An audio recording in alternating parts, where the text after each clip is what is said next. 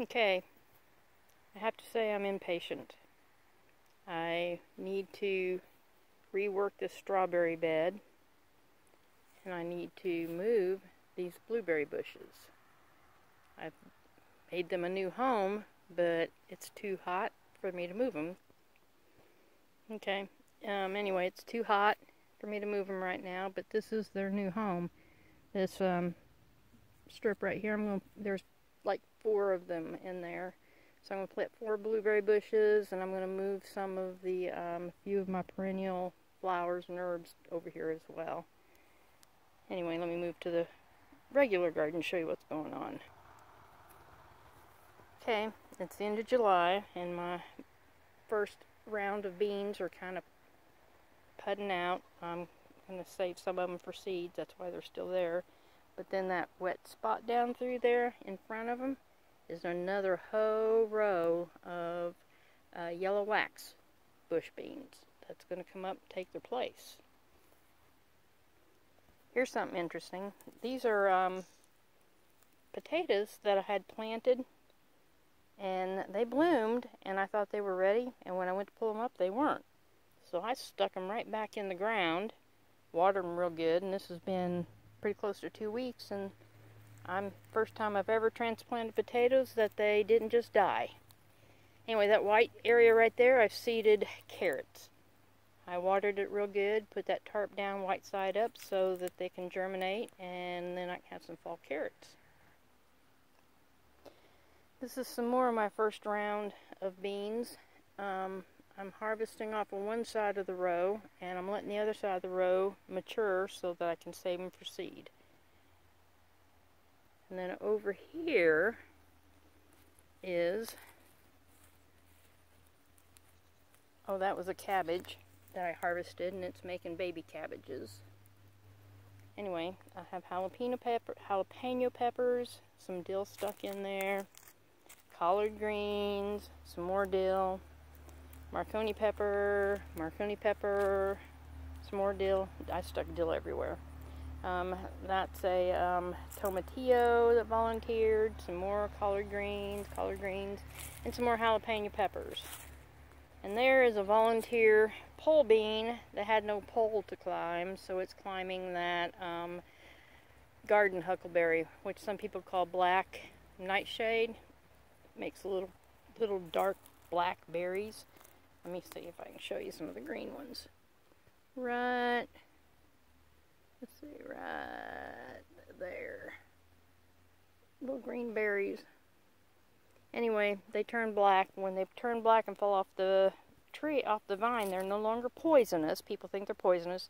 But once they turn purple and fall off, they're not poisonous. You can make really good jelly out of them, just like blueberry jam. Yeah, like some people have said, this is the jungle stage of the garden. Here is some uh, kale, more kale.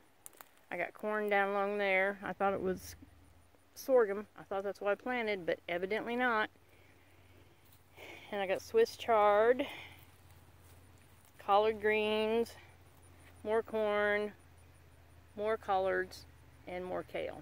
And on the back side of this corn, you can see through there, is a whole bunch of winter squash as well as this here. It's just like going nuts, going everywhere. You can see right there I got two monster Hubbard squash.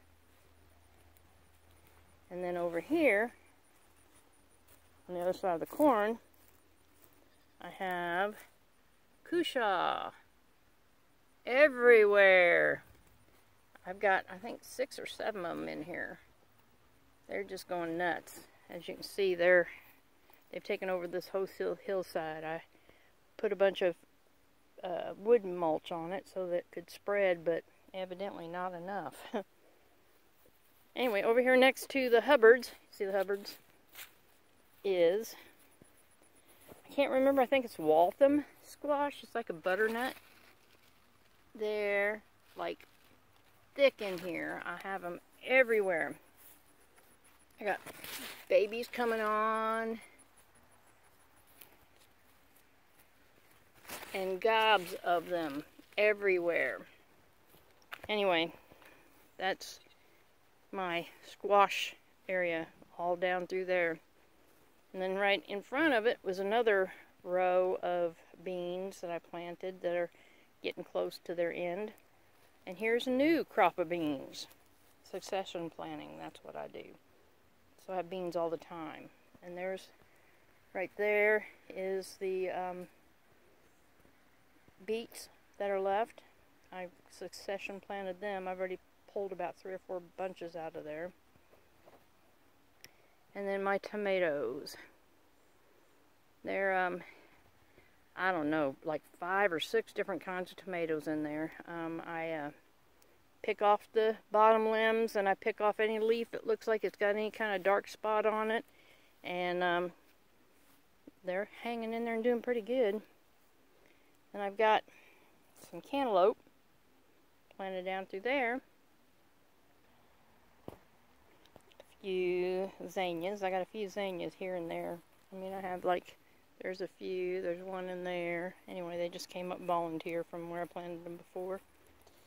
Down through there is sweet potatoes.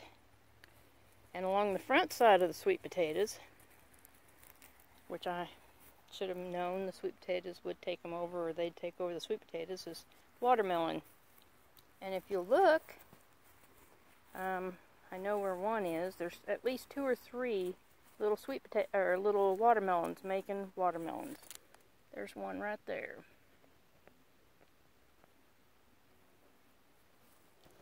I only planted two um, squash, uh, summer squash. They're yellow summer squash. And um, they're blooming, and I picked quite a few off of there and been fighting with the vine borers and the squash beetles and all that kind of stuff, the stink bugs and everything. But so far, they're hanging in there pretty good. They're they're doing good, but last year I had a hard time with the squash. And right there is some more of the